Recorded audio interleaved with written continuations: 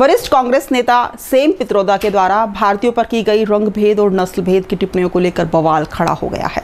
आज पित्रोदा के खिलाफ कार्रवाई करने की मांग को लेकर कोटा में भाजपा के कार्यकर्ता सड़कों पर उतर आए और संभागीय आयुक्त कार्यालय पर प्रदर्शन किया। इस दौरान उन्होंने पित्रोदा के चित्र पर कालिक भी पोती और उनके खिलाफ जमकर नारेबाजी की। इस दौरान बीजेपी पदाधिकारियों का प्रतिनिधिमंडल आयुक्त डॉक्टर उर्मिला राजौरिया से मिला और राष्ट्रपति के नाम ज्ञापन सौंपकर पित्रोदा के खिलाफ कार्रवाई करने की मांग की। कार्यकर्ता और पदाधिकारियों में ही नहीं, अपितु तमाम भारतवासियों में सेम पित्रोत्रा जी की टिप्पणी को लेकर गहरी नाराज़गी है, आक्रोश है और ये रोष सड़कों पर है।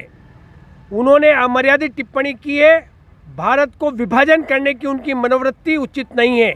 हम इसकी घोर निंदा करते हैं और राष्ट्रपति महोदय से कार्रवाई की मांग करते हैं।